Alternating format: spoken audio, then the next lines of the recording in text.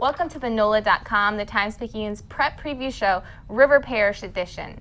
I'm Julie Boudwin, and joining me is New Orleans prep writer Mike Strom, who has um, done four shows today, Mike. Mr. Know-It-All. And we, I guess we saved the best for last here, didn't we? yeah, let's get down to some River Parish football. Uh, we're going to start with Destrehan, who advanced all the way to the semifinals before falling to eventual Class 5A champion Acadiana. What will it take for the Wildcats to make it past the semis and into the championship game?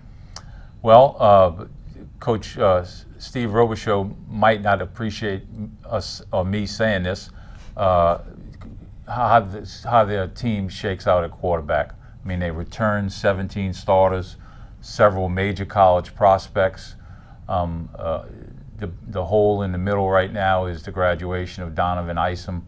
They have a promising 10th grader in Marquise Darrensburg that I know they're very high on. And I'm thinking, uh, you know, Destrehan has an outstanding coaching staff. They will probably look to people like uh, Will Matthews, their running back, uh, Kirk Merritt, mm -hmm. who's going to play receiver and running back, Alfred Smith uh, those kind of get the ball to those skill players and let uh, Marquise mature at his own pace.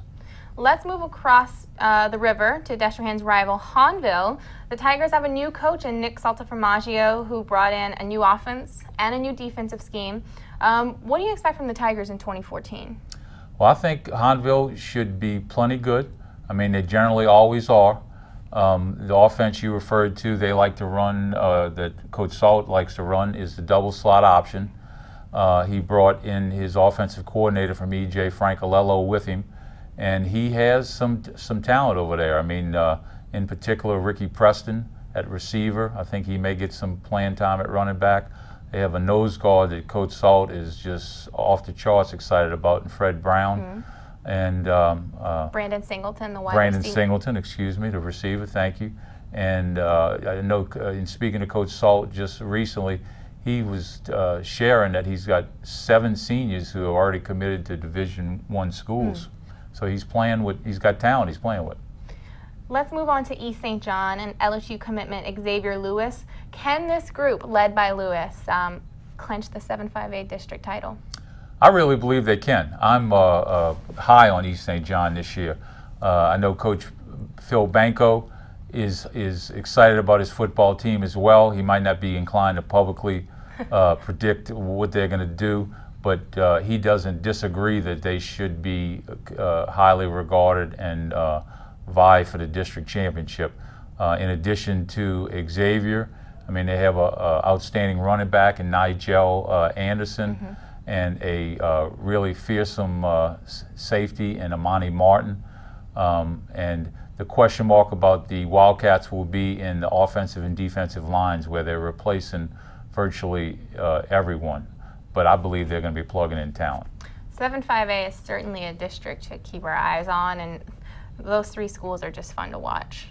And I've also been told from talking with coaches, you got to keep keep an eye on Thibodaux. Mm. Uh, Thibodaux should uh, be a, a, factor in the race. All right.